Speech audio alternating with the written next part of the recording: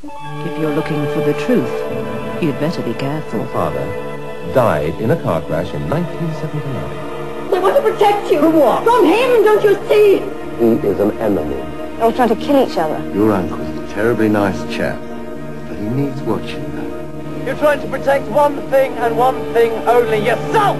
The hell are you? You must be dead! No! He's alive! He's alive! Centre Point, the truth isn't always what it seems.